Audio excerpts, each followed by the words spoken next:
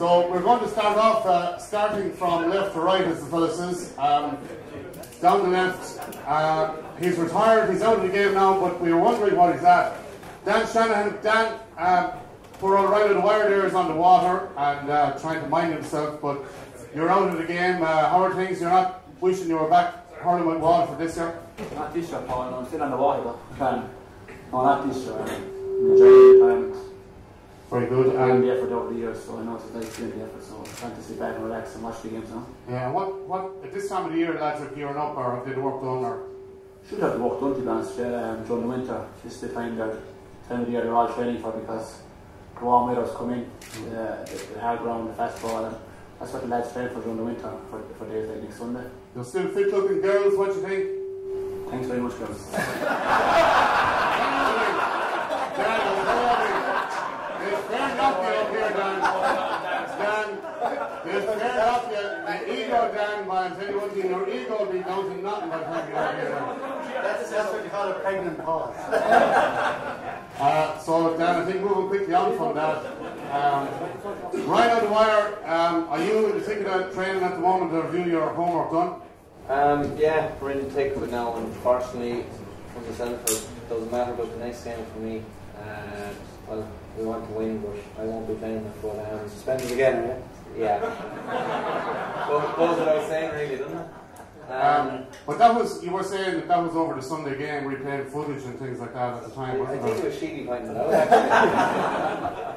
um, yeah, we're, we're in the thick of it now. Um, training hard.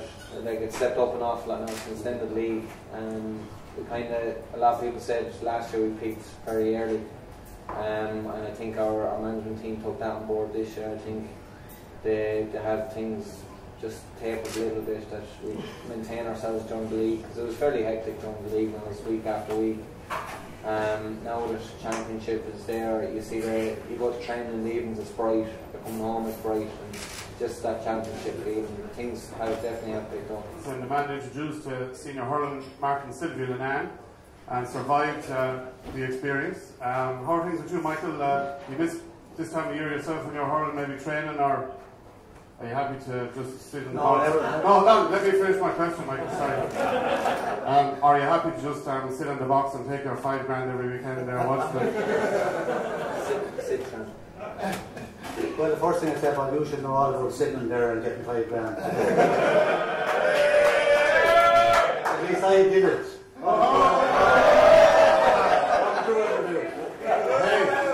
I'm an under 16 Crossbow Cup medal now, but before you start.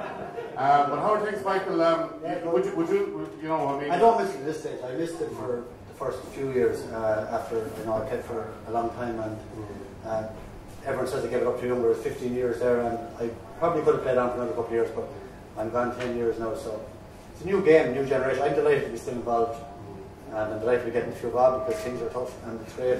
Uh, thanks to the Irish Sun and bye tomorrow morning. And I'm again. Oh, sorry, well. But uh, no, it's um, it's it's great to be it's great to be still involved. I think you know hurling changes, times change. We're still a great game, and um, Ryan is looking to be still playing. But all of us that played the game, it was a great it was a great buzz about playing in the county hurling and being involved. And I suppose the only thing sad is me that it's gone very one dimensional. All the Converse, or Tip or Cork, or, know, it's gone like that cup is in front of me. I don't know why it is, but it's 14 years since we won the Ireland 98. No one has won it since outside the top three. And that saddens me a little bit because, I, and I think all this talk about uh, Kilkenny being dirty and Kilkenny being this and that, like, why don't lads stand up to be counted and get stuck into it? Instead of looking at the ground. So I think Dublin might have that plan a little bit, but yet, Ryan, you have to do it in the rule book. You have to. I don't- I- Okay, before you say it, I go into it, but I wasn't cut that off. Um, so, look, it, but look, it's great. It's great to be involved. I love this time of year, getting ready for the championship again. Uh, great buzz around the place, and huge matches to look forward to, like starting with Tip and Limerick. And in the old days, that'd be great. Be a, if we wanted Tip, would be terrified of but Limerick always had a good record against them. You know, you'd probably go along the normal lines next week. But anyway, look, thi- things are good. The hurling is starting now, and we're here in Coppers tonight. And today's only a couple. Uh, Liam Sheedy, Liam, uh, you had an incredible hurling career. Um, for Portroe and for the county, and uh, obviously, you know, you're out of management now for a while. Do you miss the management side of things, or the hurling side of things, or? Ah, yeah, it's huge buzz. Um, I think no matter what you do, you know, after stopping playing, you know, the honour of managing your own county is a huge honour, but there's a real buzz. Obviously, the first Sunday in September going up and down that sideline, it's, uh, it's a fairly big adrenaline kick, I can tell you. So uh, when you step away from it, of course, you're going to miss it. And even last year, I found the final probably a tough day, you know, when you're wondering on Bison Stadium where they are and how we're getting on and how we're feeling now. And, uh, you know, of course, of course, you'd miss it, but the reality is, as Michael says, you know, it is a, it is a tough time, it's strange times. And, Intercounty management nowadays is a full-time job. Um, that's a fact, you know, it's 30, 35 hours a week, that's how much time it takes.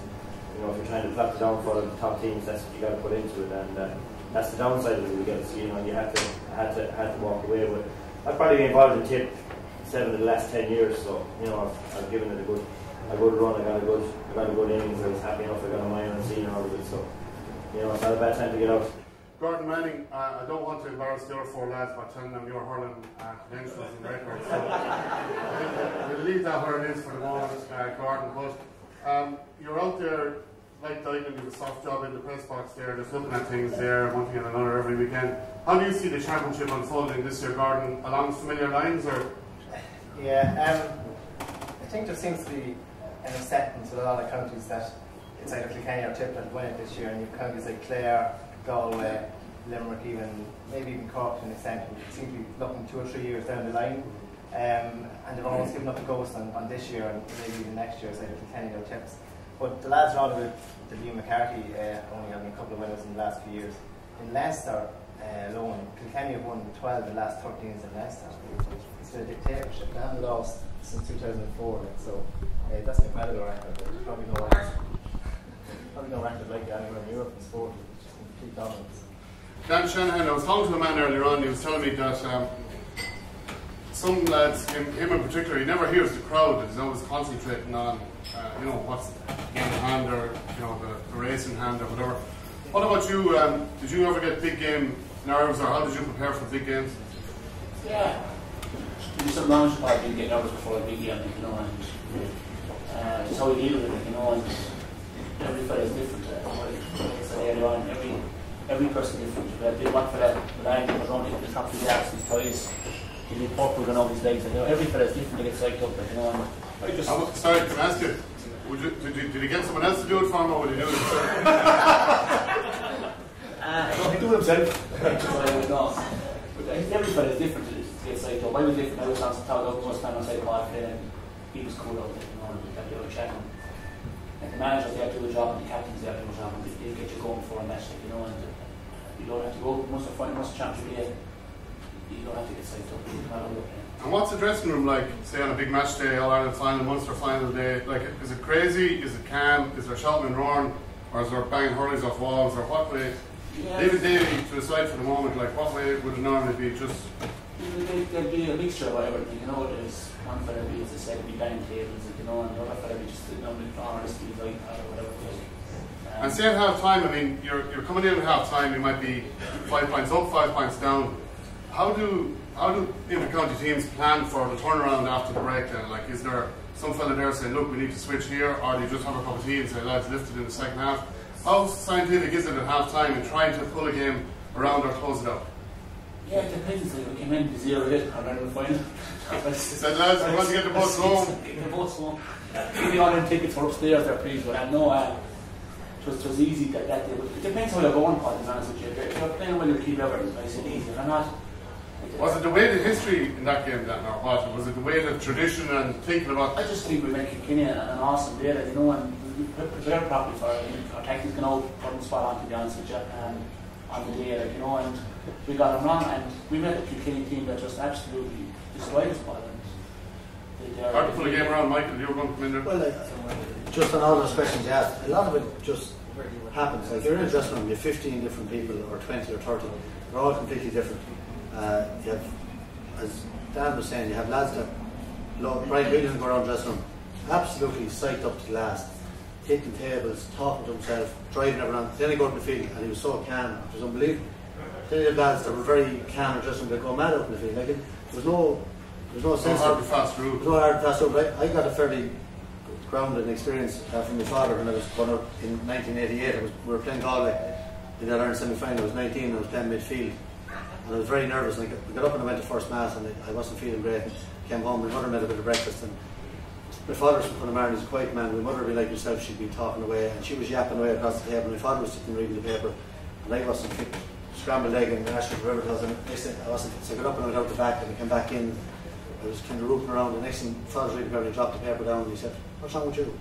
and I said, Just that, I said, not feeling great. I said, stomach and then he says, Eat up, he says, there's no making out in the middle of the car park making a fool out of yourself and being hungry as well.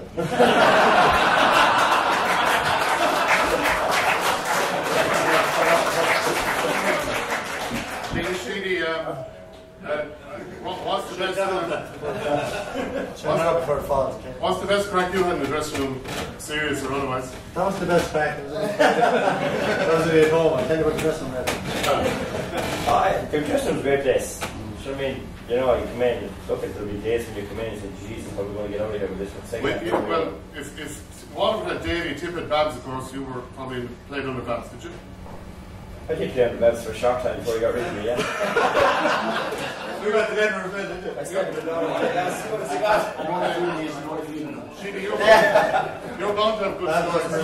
that, that, that, that was man manager was very sim- simple. You got a letter from Jimmy Barrett. wasn't it? That's uh, Tommy Barrett. Or Tommy Barrett. You got a letter from Tommy Barrett saying, "Dear Liam, your service is not no, no, no, He was no, way no, off. For those on the Liam was good enough to call me. what? Liam was good enough to call me. Are you saying? Are you saying it's because of Liam which you're from Dublin? Is it? That's it. Just like over there. It's a good job I'm in the middle. I heard next, I heard next line is in great for that. I just thank him. Um, come back to Babs anyway, Liam. Oh, but, look, every, like every man, I think the game is. I mean, I, I heard the guys addressing him no different than Mike. I mean, jeez, they'd be inside the shirt, hit their head off the wall, and like that was the done thing. You know, and you'd be saying, how many of them in God did they go to hurling the go here? I think the modern day player, you know, a lot different.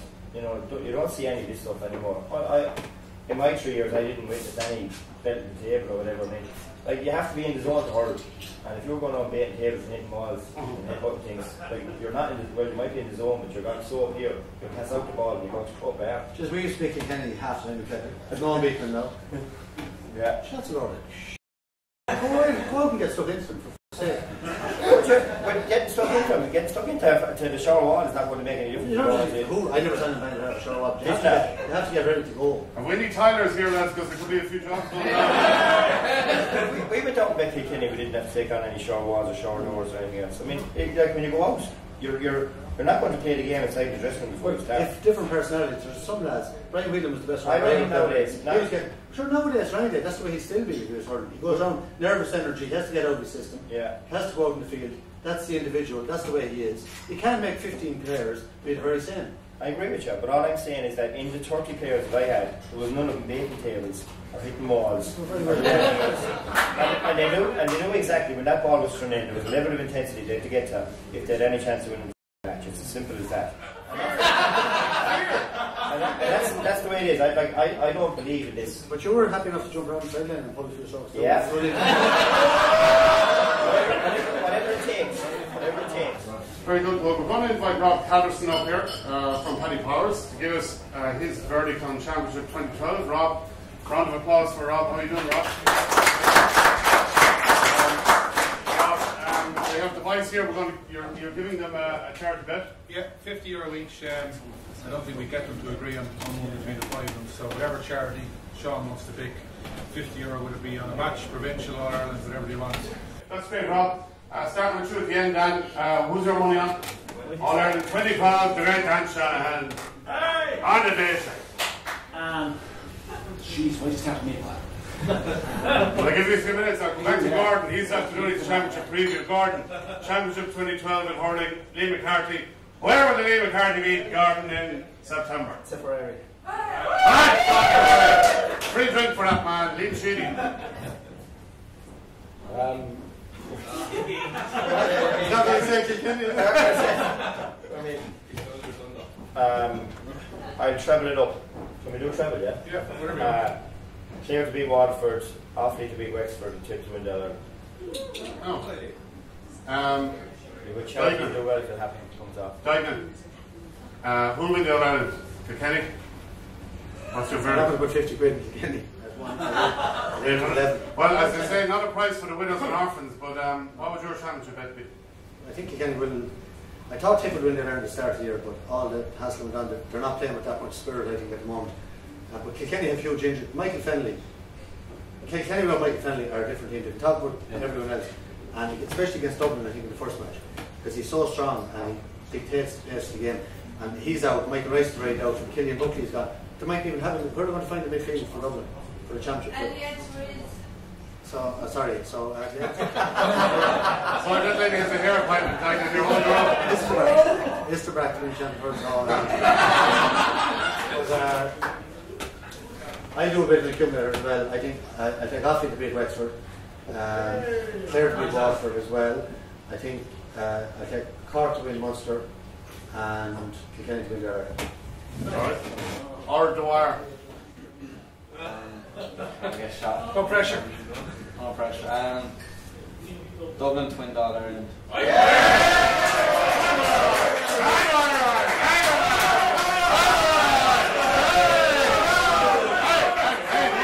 on, hold on, hold on.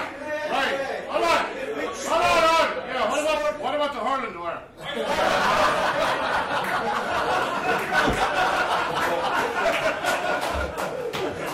I go Dublin hurling and Dublin football. Dublin. Dublin. This is this is called trying to make it in the capital. Coppers during the winter. That's it. All from winners to win Munster and Tip to win Munster. Dublin and Munster. Very good. Ladies and gents, it's been a great audience here tonight. Uh, we'd like to thank uh, Rob from Paddy Powers for his help and insight and hospitality. Uh, we'd like to thank the, our superstar panel of guests, I'm Gordon Manning, um, for. Uh, also, just to let you know that uh, there's an opportunity to get your photograph taken with Gordon and Liam McCarthy, or, or just with Liam McCarthy, depending on how you want it. Um, just after this here. Thank you very much indeed. I'd like to say a big thank you to Dan the Man Shanahan, Ryan O'Dwyer, Michael Dyson, Liam Sheedy, and Gordon Manning.